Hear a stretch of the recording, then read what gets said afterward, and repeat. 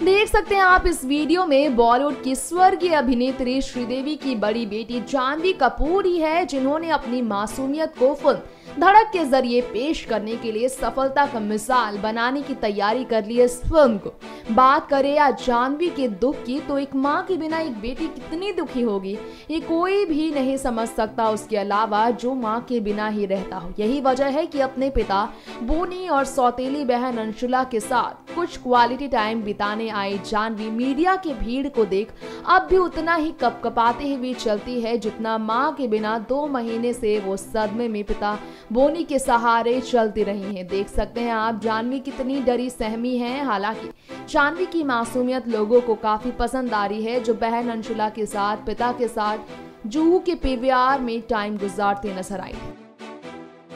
next nine news report Subscribe and press the bell icon for latest update.